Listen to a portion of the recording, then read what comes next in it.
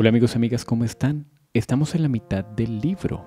¿Recuerdan cuando en Trono de Cristal les avisé que íbamos en la mitad?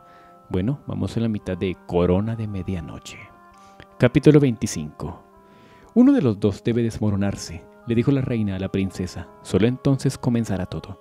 Ya lo sé, repuso la princesa con suavidad, pero el príncipe no está listo, tendrá que ser ella. Entonces, ¿comprendes lo que te estoy pidiendo? La princesa alzó la vista hacia el rayo de la luna que caía en el sepulcro.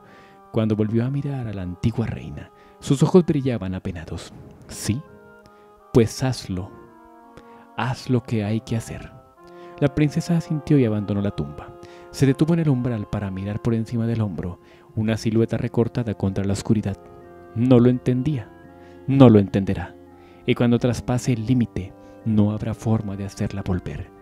Encontrará el camino de vuelta. Siempre lo hace.